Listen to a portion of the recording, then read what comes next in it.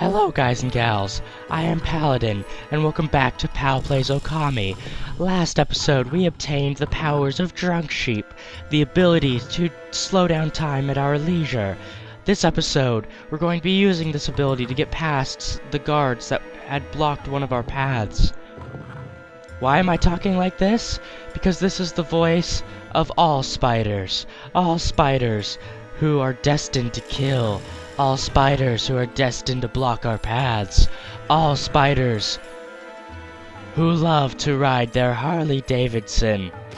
Okay, uh, now with Veil of Mist, uh, one thing I noticed that I didn't do last episode, I noticed this in post, uh, was that whenever I used Veil of Mist, I would use it like this. I would draw two parallel lines, and that would work. But actually, that isn't the best way to use this technique. I wanted to point this out now at the beginning of this video instead of just doing it and hope and hoping you guys would notice. Um, to do Veil of Mist, it, you can actually just do two uh, horizontal lines. Actually, I'm not even sure.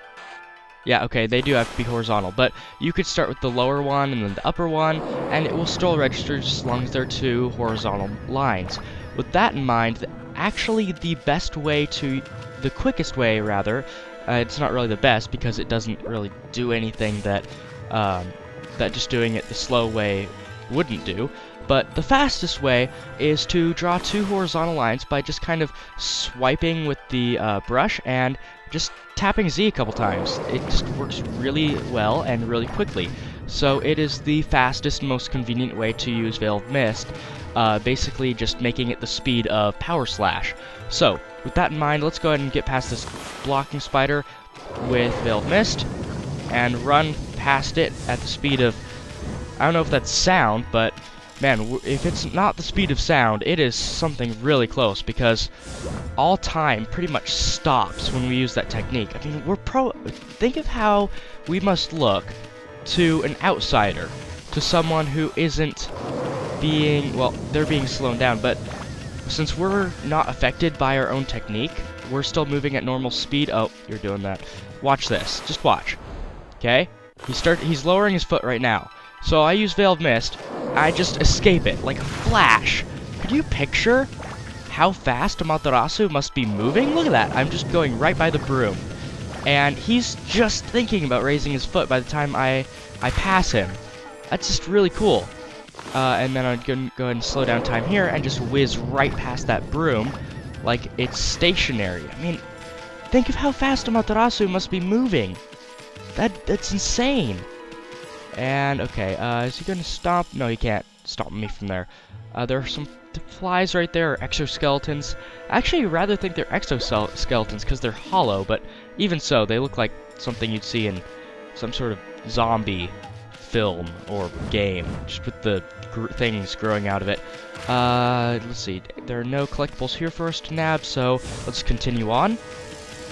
We're now in uncharted territory, which contains, uh, apparently uncharted territory means that we're going to be encountering lots of fountains, and a treasure chest, which we can have Issun bust open for us, and it gives us an Inkfinity Stone. I don't know, whenever I see an Inkfinity Stone, I always think it it's an equipable and not a uh, uh, consumable. I just always think that. I don't know why. Um, it just it's something that I've always done. I guess it just seems like an equipable. I mean, how would you use a stone?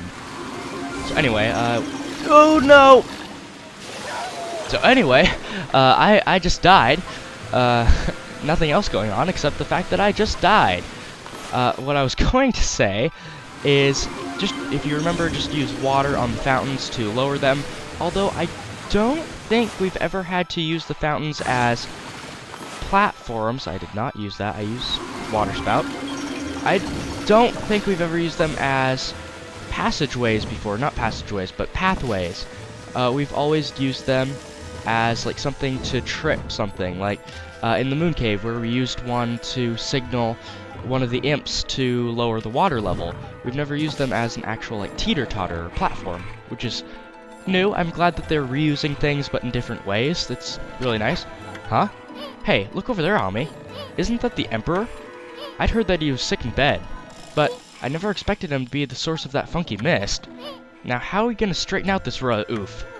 I mean, he, we're too big to fit through his mosquito net. Hmm.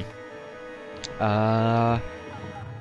Well, it doesn't go all the way up to the ceiling, which is a very ineffective mosquito net, but maybe we can climb up these platform spiders to get over the mosquito net. That seems very plausible. So, this Demon Scroll here, I'm not actually going to show the battle with it, but I will go in, I will uh, conquer it, just so I can tell you guys what enemies were inside. So, if you excuse me, I will be right back. So, in that Demon Scroll were a was a Thunder Doom Mirror and a Wind Doom Mirror. So, just two enemies, but man, they gave me a lot of money. That battle, because I perfected it, which it, uh, Wind Doom Mirrors are actually a joke now, especially and also Thunder Doom Mirrors, uh, now that I have Veil of Mist, because they just move so slowly that I can kill them and they never even have a chance! Oh, wow. Oh, that Are you kidding me? Are you kidding me? Well, here's a new enemy, uh, an Ice Doom Mirror, which, uh, if I remember right, it has the same strategy as all the others, just keep hitting it, and also a Fire Doom Mirror, which we haven't encountered thus far. Uh, really? Really? I believe their strategy is exactly the same as the other, and other, um, as their, uh, their Ice Lips and Fire Eye counterparts. Let's go and slow this down. And I'm hoping that the Fire Doom Mirror uses his fire so I can actually kill this guy with the Finisher. No. Jump! Well, that's sad. Uh, I'm not going to get the Floral Finishers on either of these, sadly. Actually, no, wait. I will get on. I will get it on the Fire Doom Mirror. This is actually, actually, this is the first time we've ever encountered two new enemies in the same battle. I have no idea how that's going to work for uh, the, the enemy bio. There we go, let's go and kill him. And his floral finisher, what, what? I instantly got his floral fin, okay. Whatever, that was really strange, and I didn't encounter, didn't expect to encounter the, those guys, and also, that was, that was a really jerkish fall. Like, I fell right into the Demon Scroll, so I, I didn't even have time to do anything. But you guys saw the enemy bios, and it took me uh, way too much by surprise. That was really bad. They probably placed those Demon Scrolls down there just to catch me off guard. So, yeah. I apologize. Uh, I apologize if I didn't really go over their strategy, but they are actual. They're just clones of the Fire Eye and the Ice Lip, so I didn't really find it that important to talk about how to defeat them, since you guys pretty much already know. And also, the enemy bio was enough information right there. So anyway, uh, I have no idea what I was talking about before, except the fact that that Shami Zen down there, uh, I've tried it before you can power slash the strings and it actually doesn't do anything. Which is really actually, you know what? I, I apologize, but Oh, apparently you're not supposed to jump into the spider web. Uh, what I'm saying, this episode is not going how I wanted it to go. I didn't examine this, but you can. Check out the shamisen. Wonder if the Emperor likes music. Oh, uh, whatever. We got more important things to do. Yeah, but like I was saying, you can power slash the strings, does nothing. You can headbutt it, it does nothing, which is really sad. I mean, the game designers missed an opportunity right there to put in a cool little Easter egg, but hey, I can't complain too much. The game design is already brilliant. I mean, anything more and it would be... Uh... Xenoblade? uh, comparing this game to Xenoblade. Or rather, Earthbound, I guess. I just need to stop talking about that shamisen, because I'm still on that. Okay, so like a uh, new topic because I can't say like I was saying. Um, this area, the rafters. I had mentioned episode before last how this game, or this area rather, parallels Legend of Zelda Minish Cap a little bit, just because it was made by Capcom and they did the whole shrunken thing and just the areas of the Imperial Palace when you're when you're shrunk and uh, Minish Woods in Minish Cap they're so similar. Like, it's insane how similar the two areas are. But this is yet another similarity. Um, in Minish Cap, again, I don't feel like I'm spoiler spoiling anything because I'm not spoiling any story elements. I'm just talking about one specific thing in the game. But in Minish Cap, there is a part of the game when you can enter people's houses uh, while you are shrunk in, while you're the size of a Minish.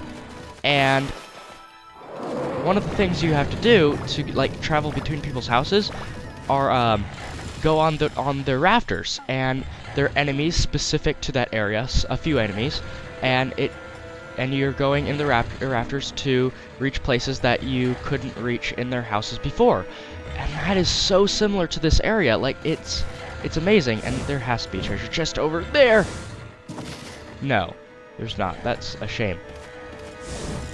So yeah, it's just it's just really cool how similar that this area is to Minish Cap. Okay, these platform spiders are special, not only because they're green, but because when you stand on them, they move really fast. Like, look at this guy. Watch. Look at that. That is much too fast. So you need to slow down time to make platforming a lot easier. Same with the spiders, because as you progress on the rafters, the spiders will get faster and faster. Also, I should note, it's really strange that they give you a map for this area because, first of all, it's so late in the area that the map's pretty much useless because this is the only place to explore and it's fairly, I almost fell, it's fairly linear. Um, there's not much, there isn't, uh, there actually, there are pretty much no alternate routes you can take that don't have dead ends. I mean, it's not like I could have gone to the left here and like kind of cheated the system. I can't go through this spider web. Like, it is impossible for me to do. This area is very linear. I have no idea why they give us a map, uh, both so late in the area and for such a, uh, and also because, you know, there's, it's linear. So anyway, that's really strange. Uh, these spiders are very tough. You just want to do this one or two sections at a time. And this last spider, once speed, once time goes back normal, this is like crazy fast. This is impossible. How can this be so fast? Like this isn't this isn't even physically possible with the gravity because the gravity's fairly close to that of real life. And for something to swing this fast, it would have to be uh, it would have to be influenced by some very strong external force, but it's not. And so just it's really strange. Like it, it this spinning is so fast and so noisy that it's almost obnoxious. It's almost a little bit violent with how this is. It's just so fast, but once again, when we slow down time, it's as slow as a snail. Of course. Of course, when I say it's as slow as a snail, I fail. Okay, let's go ahead and do this. Actually, he's still fast when he's slowed down. Okay, uh, I'm actually going to sit here for just one moment before I head to the end of this. While it does look like a dead end, this is actually where we want to go. And I would like to, hopefully, Amaterasu, could you please sleep? Please? I need to heal. Real bad. Amaterasu. Uh, she's, she's not feeling it right now. She's definitely not Shulk right now. She's not really feeling it. So I guess I'll just use an uh, Holy Bone S? We have 20 of them, so I don't feel like I am depriving myself of any healing powers in a, in a battle if we get into one. So anyway, with uh, almost full health, let's go ahead and walk to the end of this rafter.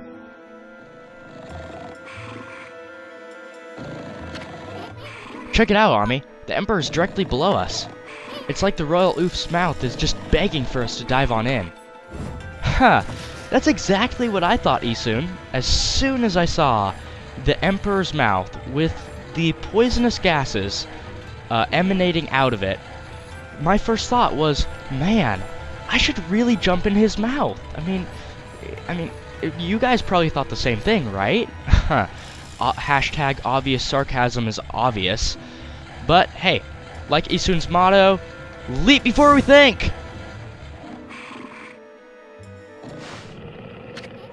Are we inside the Emperor's body now? Wow, Ami, you're on fearless wolf. This should be the fastest way to get to, to the root of the problem. Hey, what's this funny looking thing here? Oh, I know. It's that dangly thing that hangs down the back of the throat. I bet if we tick tickled it, this royal oof would sneeze. That's probably our best bet for getting out of here. But let's save that for later. We're going we're going the other way now. Uh, what is that? Uh, uvula? Yeah, the uvula, I think, possibly. I think that's what it's called. Uh, so if we hit this, we can leave, but I have no interest in leaving at all. And also, why is it upside down? Uh, let me do some science here. Um, if I am up, if I am laying on my back, I'm actually sliding down my chair to lay in my back. I just want to figure out why this uvula is upside down. Pardon my geekism. Uh, so if you lay down, it actually would not be upside down. It would be... I have no idea. I can't figure this out. Let's just leave before I, I make this any more awkward. Uh, I I am a nerd. I'm I'm a major nerd. Okay, so hmm. You actually, now that I think of it, even more um, even more parallels are drawn here to the Zelda series, the Zelda titles, because um, in Ocarina of Time, you go inside, like, uh, I'm not gonna spoil it, but hey, if you guys, if you guys have not been spoiled by Ocarina of Time, man, that's almost impossible. Uh, or spoiled for Ocarina of Time. In Ocarina of Time, you go inside a giant fish, and that's what what's happening here. So this is very similar to Ocarina of Time right here. Man, so close. Okay. Uh, I don't want to save right now because I would like to go through this door because this episode is definitely not over. I would like to go through here. Uh, but first, I would actually like to cut ahead because I want Amaterasu to take a nap and heal first. So I will be right back. Hopefully she'll actually sleep and I won't be here for like 20 minutes. Okay, I got tired of waiting for Amaterasu to take a nap, even though it only took about it took about a minute before I got impatient enough to actually use a Holy Bone S and uh, refill the last remaining uh, empty one and a half solar units of my health. And also, I took that opportunity off screen to equip Tsumugari as my sub, so I now have a sub glaive in addition to a main glaive. So with those preparations actually uh, almost out of the way, I would like to use one Traveler's Charm to get my Godhood up to what level? I've no clue. Can I even see that? No, I cannot, sadly. Uh, but yeah, my Godhood, I believe, is now up to level 2 or 3. So yeah, with that out of the way, let's go ahead and head through this door. Wonder what's in there. I have a feeling we're in for trouble. You're not going to turn back now, are you, Ami? One turn back? No way. Good answer. Okay, you know the drill. Leap before you think. Okay, a very redundant golden gate. It's not even necessary. There was a save mirror back there, and you could just go back and save. So I have no idea why the golden gate's here. And actually, for that matter, I have no idea why the golden gate exists. This is so, so weird. But with that out of the way, we are in the esophagus? Actually, this looks more indicative of, like, intestines to me. So, we're either in the stomach or the bowels, one of the two. And from what looks like down there, there's no indication. Although, man, like all infected down there. What on earth did this guy catch? Well, we're about to find out.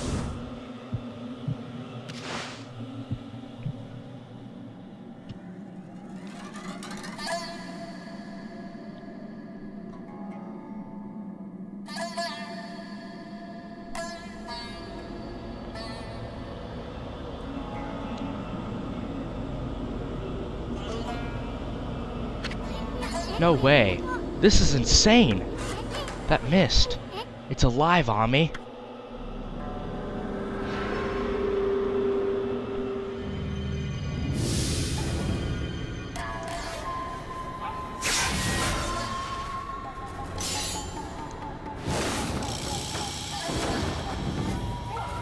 Meet Blight. Under my control, this body breathes evil mist over the city. And you, Mutt you dare attempt to clear the skies of my poison? Waging battle with me inside a human body will be no easy task. Even now, Goldnail, the mighty sword, cries out for your blood. Come, step forward so that I, the indomitable Blight, may cut you down.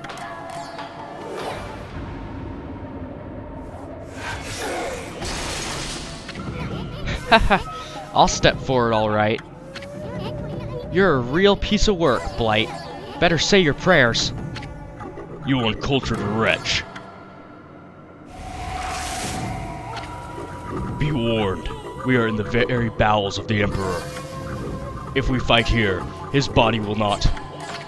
Give me a break. A little action here will help him wake up. But never mind that. You're the one behind that poison mist. Possessing a human body may be an elaborate trick, but it ends now. With my supreme blade, Denkomaru, I, the magnificent Issun, shall rend that hunk of junk you call a sword. Not without us, you won't. Okay, the battle with Blight. Starting off, it's actually a very easy battle if you know how to uh, know when to take him. When he starts to do what it looks like uh, is drawing his sword, you want to immediately use Veiled Mist to slow time down. Watch out because the sword that he holds in front of him, Gold Nail, still has a hitbox and will hit you even while you're slowing time down. Now, if you manage to down him during that rush attack, which is almost, which is instantaneous if you don't slow, slow time down, uh, you will knock Gold Nail from his grasp, and you'll be able to attack it. Uh, I suggest that you do so with charge glaive attacks, but immediately you want to move away from it because it will attack you if you stick around too long. Okay, uh, now it will reanimate Blight, and you want to keep an eye out for that sword drawing attack again. That's his tell right there. That is another thing he will do. He will warp to a different point in the in the battlefield, usually right on top of you. It's a little bit different from his uh, his lunge attack because if we slow time down here, he is not holding the sword in front of him and thus has no hitbox. But also we can't th thus we can't knock Goldnail from his grasp. This is his third attack. He will have a ring of swords, much like Waka did, um, and Goldnail is one of those swords. If you power slash Goldnail, it will uh, deanimate Blight, and you can attack Goldnail, Goldnail, but the other swords will still be active. Instead, you want to attack all of them at once by getting a horizontal position with the camera and move in on Goldnail, because Goldnail is how you actually deal damage. You're really not dealing damage to Blight at all. Uh, Goldnail is the real enemy. It is the power behind Blight. Okay. Blight, what do you got? Oh, warp attack. Let's go ahead and get some good damage here. And it should also be noted that when you are when you're not using um, Veil of Mist, he is invulnerable the rest of the time. So I just want to make note of that because that explains why I'm not attacking Blight most of the time. I'm waiting for him attack and I'm being counter-offensive. Now actually, I, I actually want to switch to uh, Devout Beads, mostly because they have the machine gun... Oh wait, no I didn't mean to do that. Uh, Devout Beads as my sub, so that when I move away from Gold Nail, uh, I, I will be able to still deal damage by shooting it from a safe distance, albeit uh, the fact that it's very little damage, it's still damage, and it's safe. So anyway, uh, he is on his last third of health, so this should probably won't finish him off, but it'll come very close. And notice I have not taken one hit of damage at all. Actually, this might finish him off right here. Another thing that I advise is slowing down time while you're attacking Gold Nail, because you can get more hits in uh, in a shorter amount of time. And oh my word, are you kidding me? Okay, uh, one more hit and he's gone. Hopefully that won't make my time rating on time any worse, but hey, I'll take it. I'll take what I can get. No, uh, no damage. That's very good. Done.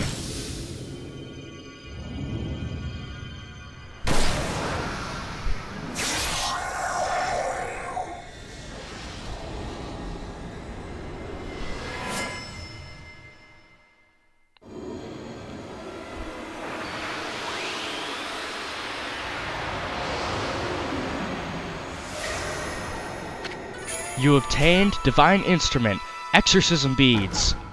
Purifying Rosary that contains the power of Holy Light.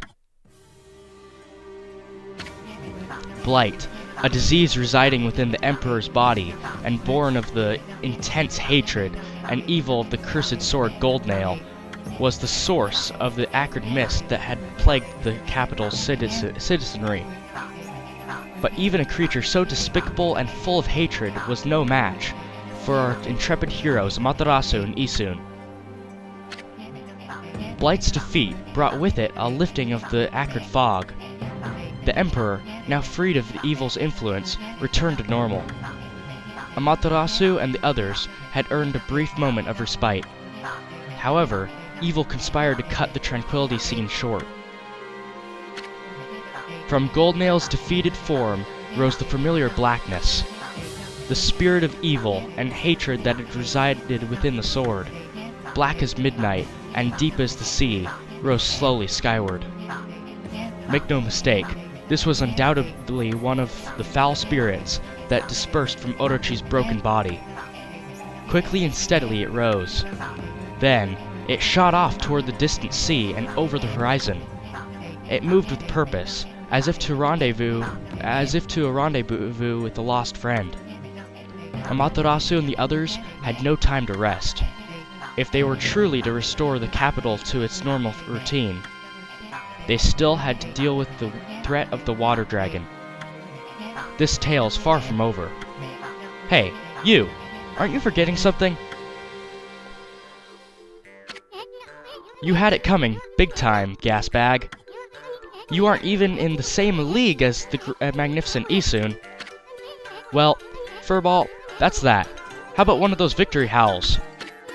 Oh, wait, I almost forgot. That babe Kaguya is still locked up.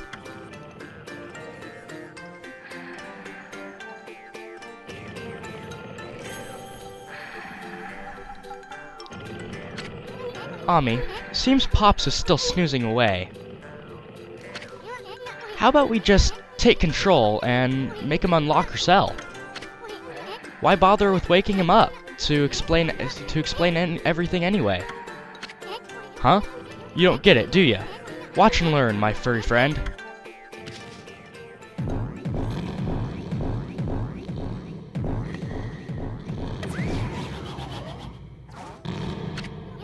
First, I'll stir up his stomach like this, and then... What the? Yikes! What the? Hey, are you okay, Ami?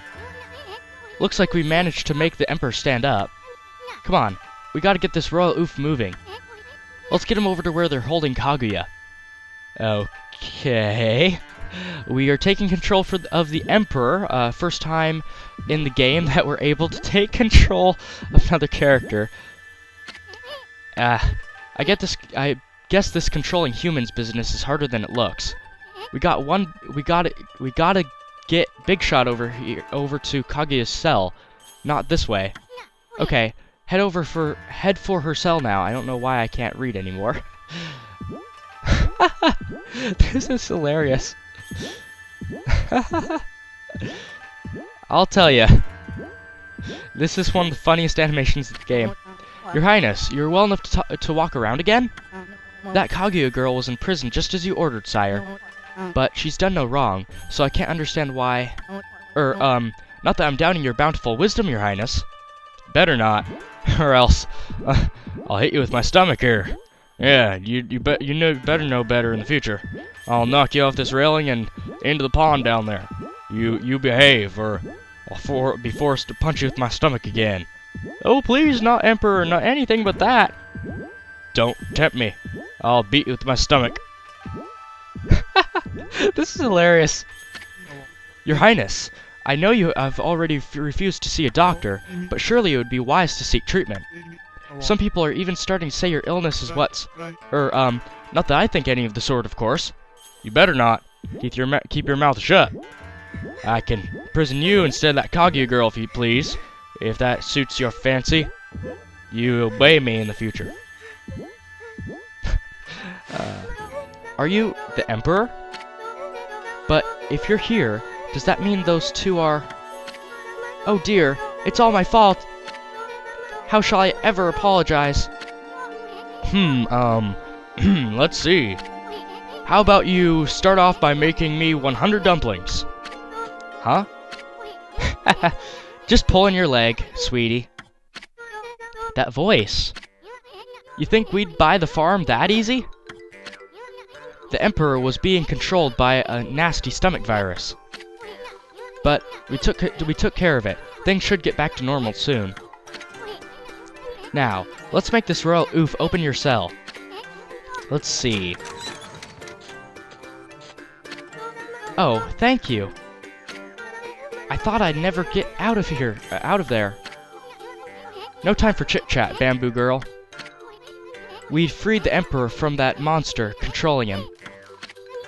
But things are still a bit dicey around here. We're gonna hightail it out of this place. I suggest you do the same. Now, let's see here. Oh yeah, coochie coochie coo. Oh man, it's good to be back to our normal size, even though Amaterasu probably is in dire need of a bath. I can tell what you want to do, Ammy. Not take a bath, if that's... Oh, no. Uh, I agree. That'll make it that'll make it feel like we've set things straight here.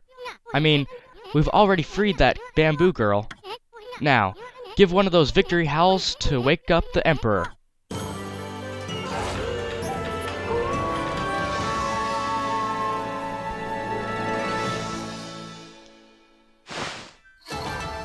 You? Well, I didn't do great on time, but damage is uh, definitely something uh, I'm happy with. Perfect on damage and 22,000 yen. Also, that'll be it for this episode. Next time, I'm honestly not sure what we're going to do. Uh, we could help out the citizens of Sei-an City now that they're back on their feet and no longer sick, hopefully, now that the fog is cleared. Or we could try to talk to Queen Himiko now that the Emperor's recovered. Maybe her guard has been let down and she, she can uh, freely roam the city again and stop praying. Or I have no idea. We'll have to see then. Uh, I release new episodes of Okami Tuesdays, Thursdays, and Saturdays. Saturdays are long episodes. If, and if you like this episode, comment. If you didn't like this episode, then comment and tell me how I can make next episode so that you would like it. I'll see you guys next time for another Pal Plays Okami.